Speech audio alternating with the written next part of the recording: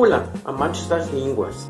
Antes de começar, deixe-me fazer um pequeno anúncio em inglês e espanhol para quem não fala português.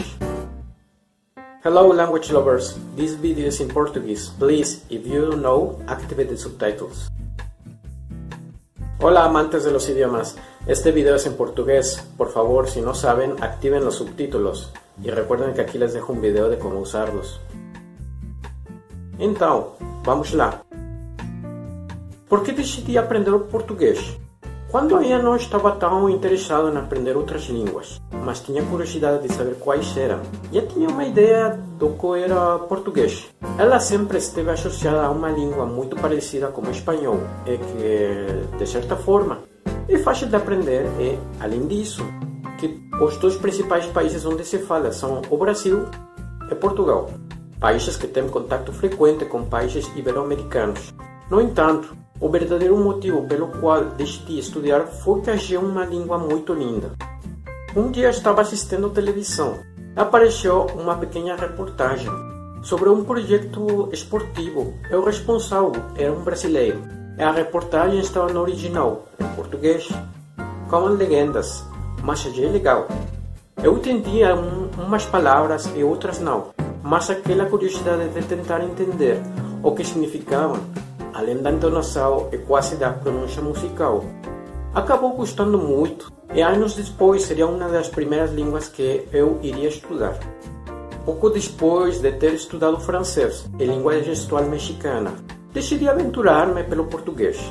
Eu sabia que é uma língua relativamente simples, pelo menos em comparação com outras línguas. Então pensei que talvez um curso introdutório fosse suficiente. Decidi fazer uma aula de compreensão de leitura em português, que durou seis meses.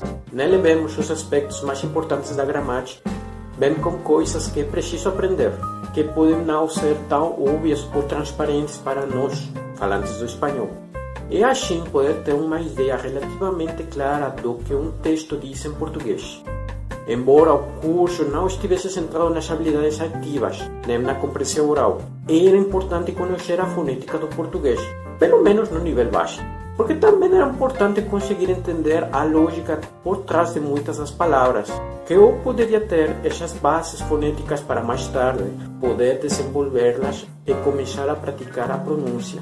Da mesma forma, também analisamos questões sintáticas e gramaticais, de forma que a produção escrita e a compreensão auditiva também ocorreram de forma natural. Por alguns anos, fiz todos os meus estudos por conta própria e testei os meus conhecimentos de português quando tive a oportunidade de viajar para o Brasil. Devo dizer que o Brasil é um dos países mais belos que já visitei. Eu recomendo que, se a qualquer momento você tiver a oportunidade de ir, o faça. Fiquei lá durante duas semanas por motivos acadêmicos, mas também tirei alguns dias para viajar e conhecer. De feito, pude pôr a prova de que eu tinha conseguido, como português, até então foi bastante frutífero. Na verdade, percebi que havia uma espécie de intercompreensão entre lusófonos, ou seja, falantes de português, e falantes de espanhol, e poder ter conversas em que um podia falar espanhol e outro português, e assim compreender-se mutuamente. Da mesma forma, há fenômenos a que chamamos falar em portunhol, onde existe uma mistura das línguas. Em qualquer caso, não foi difícil comunicar e pude testar muitas coisas e também ser exposto, mesmo que apenas durante algumas semanas, a uma imersão num país de língua portuguesa.